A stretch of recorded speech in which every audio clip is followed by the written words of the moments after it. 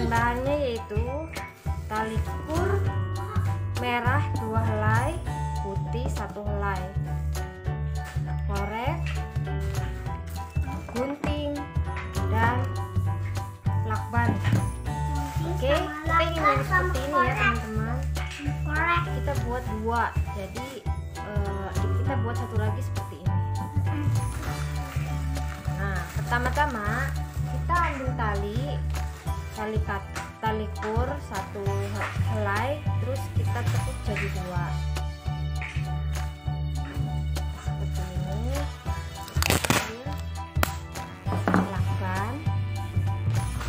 Mami biar bisa diem. nah, supaya dia diem ya Iya.